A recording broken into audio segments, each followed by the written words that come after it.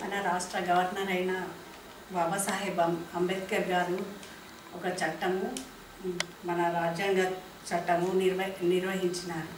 వారిని వారి రాజ్యాంగంలో వారి చట్టాన్ని గణతంత్ర దినోత్సవం జరుపుకోవడానికి ఎంతో కష్టపడి ఎంతో పోరాడి ఆయన నిర్వహించిన చట్టాన్ని ఈరోజు మనము ఒక కోర్టు ద్వారా పర్మిషన్ తెచ్చుకొని జరుపుకోవాల్సిన దుస్థితికి వచ్చింది అంటే మన రాష్ట్రం ఏ ఏ స్థాయిలో దిగజారిందో మనము చూ చూడాల్సిన పరిస్థితి వస్తుంది.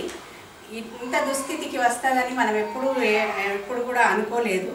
మన ప్రధాన మహిళ ప్రథమ మహిళ గవర్నర్ గారు ని దూషించడము.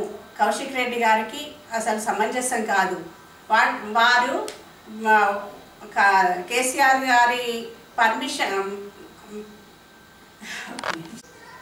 మన ప్రథమ మహిళ గవర్నర్ గారిని K- Kaushik Reddy BRS MLC Kaushik Reddy గారు అసభ్యంగా పదజాలం అసభ్యమైన పదజాలాలను అంటే మాటల పలకడానికి కూడా వీలు కాని పదజాలాలను వాడి సంస్కృతి రహితంగా వాడికి ఎంత సంస్కృతి ఉంది అనేది ప్రజలే చూస్తున్నారు. అంత అసభ్యంగా మాట్లాడము మ- మంచిది కాదు అని కౌశిక్ రెడ్డికి వార్నింగ్ ఇస్తున్నాము.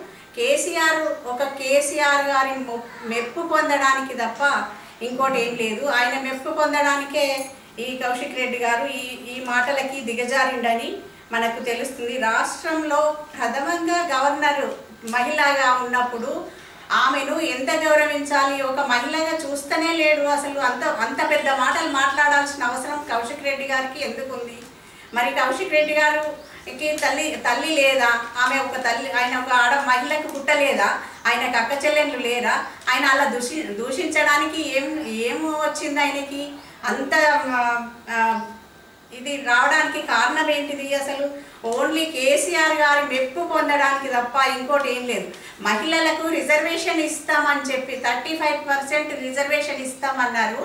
సరే థర్టీ ఫైవ్ పర్సెంట్ రిజర్వేషన్లో కూడా ఏ ఏ కొంచెం ముందుకు పోయినా కానీ ఏదో ఒక విధంగా మహిళలను దూషించడం తప్ప ఎవరు కూడా కొంచెం ఎంకరేజ్ చేసినట్టుగా మాకు ఉండలేదు. మీరు అంటే మగవాళ్ళు కోపానికి వచ్చినా పర్వాలేదు కానీ మహిళలను ముందు పోనిస్తలేరు అసలు. ఏదో ఒక మాట పెట్టి ఏదో ఒకటి చేసి మమ్మల్ని వెనుకకు అద- పోవడానికి చూస్తున్నారు. ఇప్పుడు నిన్నటికి నిన్న మన ఇక్కడి మున్సిపల్ చైర్మన్ గారు కూడా ఎంతో బాధతోని రిజైన్ చేసింది. అంటే ఎంత దూషించబడితే అంత బాధ బాధ వస్తుంది అనేది మనం గమనించాలి. మహిళలకు కొంచెమన్నా స్వేచ్ఛ అనేది ఉండాలి. కొంచెమన్నా స్వేచ్ఛగా ఉన్నప్పుడు ఏ ఏ పనిలోనైనా మహిళనే ముందుకు పోతుంది అనేది మీరు గమనించాలి. మహిళ ఉన్న దగ్గరనే ఏ రాజ్యాంగమైనా ఏదైనా మంచిగా నడుస్తుంది. మహిళ మహిళనే ప్రాధా ప్రాధాన ప్రధానము. అందుకొరకని ఎప్పుడు కానీ మహిళలను కించపరచడం కానీ అలాంటి విషయాలలో మేము అస్సలు ఊ, ఊకోము. ఎలాంటి శిక్షలకైనా ఎలాంటి చట్టాలకైనా మేము ముందుకు సాగుతామని మనవి చేసుకుంటున్నాం.